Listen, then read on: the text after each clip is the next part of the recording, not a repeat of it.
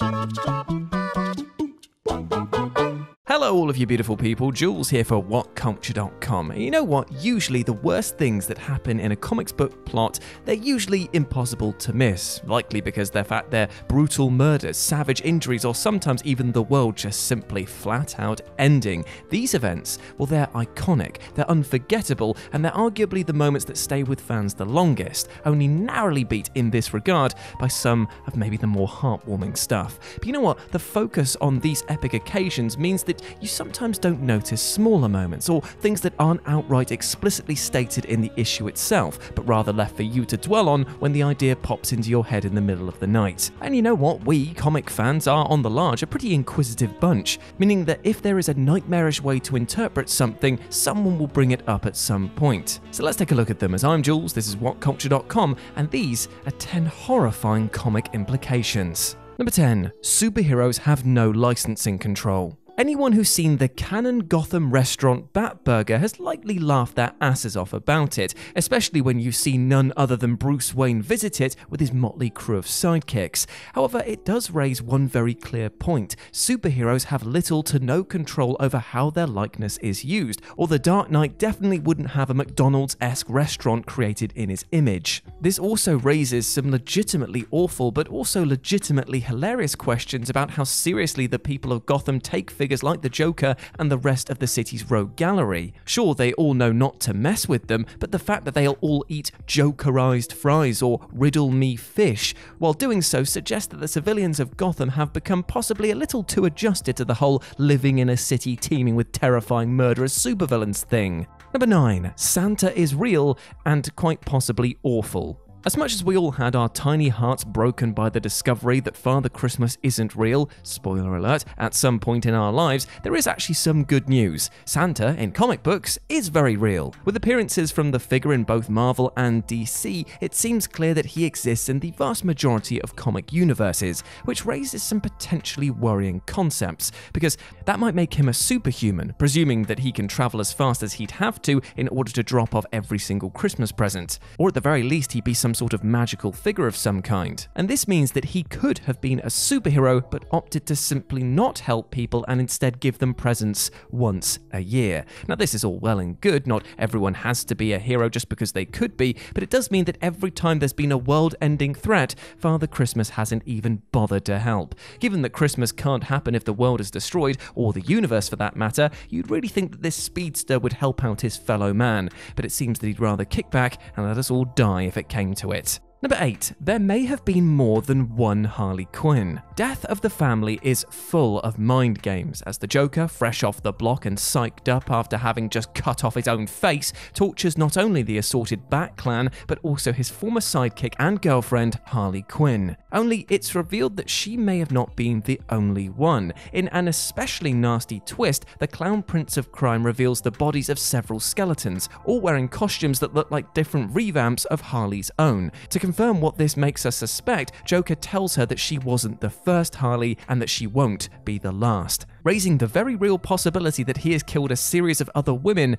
that have had the moniker too. Number 7. Mentally ill people are exiled in space. Rocket Raccoon, while being a precious, fluffy creature that you just want to pet and feed blueberries to, is at the same time a dangerous entity who deserves to be treated with respect and maybe a little bit of fear since you definitely don't want to get on his bad side. He's gruff, angry, and knows how to use more weaponry than hopefully will ever exist in the real world.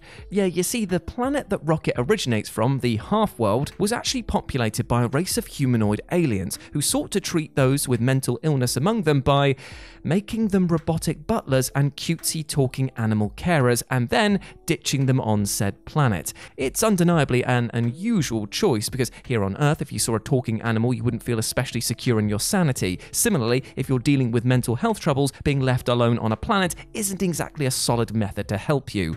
The implications of this, as you may have guessed, are deeply, deeply worrying. Number 6. The lizard is maybe better off uncured. The story of Curt Connors is a tragic one to say the least. A genius scientific mind, Curt would see his life ruined by his own technical ability, as the serum that he developed to heal the human body would ultimately heal him and then turn him into a huge bloodthirsty creature, henceforth known as the Lizard. Now, while folk have wanted to cure the Lizard and free him from his suffering, it's a wide consensus among Spidey fans that this actually would now only be worse for poor Dr. Connors. But why is that? Well, it's partially partially because of what we've been shown in the comics, in that when folk cure Curt's condition, he's shown to be absolutely broken, with the lizard persona having totally taken over even when his body itself is cured. On another level, though, there's reason to believe that it would go poorly even if you could bring him back around. This is namely because of his son Billy, who died by being eaten by his monstrous old man, and these memories are likely to be decidedly unpleasant for Connors to recall. Even now, when it wouldn't suck so much because the jackal brought Billy back, it'd only mean that he had to process that he ate his son, and then when his son was brought back to him, saw him infected with the same thing that made the poor guy into the lizard in the first place. Number 5. That Joker knows that Batman is Bruce Wayne. This one is perhaps the most well known in terms of strange comic facts, as many comics suggest or downright just out and out say that the Clown Prince of Crime is aware of the fact that Bruce Wayne and Batman are one and the same. Interestingly, some of these comics try to imply that there's no danger from the Joker knowing this information, as the villain is just not interested in Bruce Wayne or his Kevlar clad counterpart which for the record is complete hogwash, by the way, especially since we see him use a knowledge of all of the Bat-Kids' different pasts in the Death of the Family series. Now, forget the fact that the Joker is a psychopath and relentlessly capable of providing unique tortures to people, he also clearly knows how to use Batman's secret identity to make people around him hurt, and yet this is kind of glossed over for the majority of time. Why Bats hasn't let every single person he knows in on this particular piece of gossip, since it very much applies to them and could equal the difference between life and death, no one knows. Maybe he's embarrassed. It's actually unclear completely. Number 4. The Tails Doll. It might seem a little unusual that the Sonic comic series has a nightmarish implication behind it, but it's worth considering two things. One, the comic series is way darker, and two, the idea of turning sweet animals into robots is pretty hellish whatever way you cut it but there's a special hellish spot reserved for the Tails doll, which is infamous amongst basically anyone who's ever seen it because it is every nightmare ever. Just please stop looking at it. But of course, in its regular form, it just looks like a plush of Sonic's best friend and constant sidekick.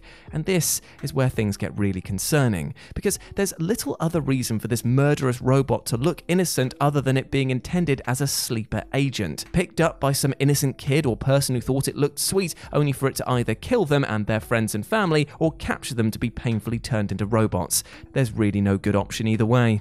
Number 3. Thanos chose regular humans to pick on. Now, it's not exactly a secret that Thanos hates most living creatures, for reasons varying between pragmatic but awful to absolutely surreal. Does seem, though, that he has a special corner of his heart reserved for hating humans, as we all learn in Thanos Annual Number 1 that the Mad Titan appears to pick random people and then just pick on them from the moment that they're born to the moment that they die. We see this through David, an unfortunate victim of these circumstances, who is constantly sabotaged by Thanos at every waking turn, with the villain appearing appearing on his birthday every year to just do something nasty and mean. This ranges from, well, pretty weird stuff like ruining David's relationship with his girlfriend by sending her a nasty text and stealing his blanket when he's asleep, to burning down the grad school that he got into and poisoning all of his friends at his 21st birthday party. And the most messed up part about this is that it doesn't seem to be for any reason. He's just a really, really awful guy, even by regular Marvel villain standards.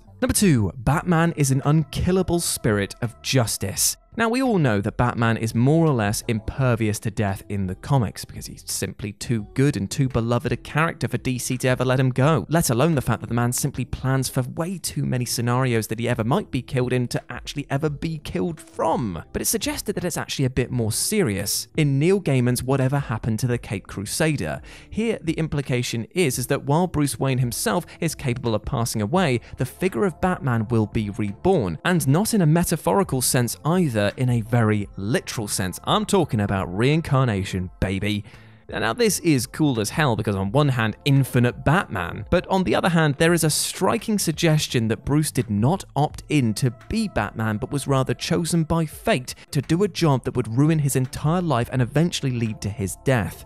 It's uh, definitely a little less fun to be Batman this way, it would seem. And number one, Killer Croc's genitals. Right, uh, okay, yeah, you, you, might have known this was coming based on the thumbnail. Let's talk about Killer Croc's genitals. Now, as you know from either reading the comics, watching the Suicide Squad film, or just reading his name and guessing, Killer Croc is a man who has a disease that slowly makes him more and more like a crocodile. Now, since this has given him a crocodile tail, razor sharp crocodile teeth, and scales, it's fair to say that it's been a full body transformation, which implies heavily that Waylon's junk has also seen the effects of this unusual, almost sci fi condition. And this is where you have to unfortunately learn these two facts that an alligator has a permanently erect penis, and a crocodile has a setup that can retract inside itself. Look, I didn't want to know this either, but there we go. Either way, Jones is in for a kind of weird ride in terms of his changing circumstances, and after you receive this information, you can probably understand why he seems to be quite angry. And there we go, my friends, those were 10 horrifying comic implications. I hope you enjoyed that, and please let me know what you thought about it down in the comments section below. If you want to chat to me further, you can do so over on Twitter at RetroJ with a zero, or you can swing by Live and Let's Dice, my personal gaming channel where I stream every single Wednesday and Sunday. It'd be great to see you over there. As always, I've been Jules, you have been awesome. Never forget that and I'll speak to you soon. Bye.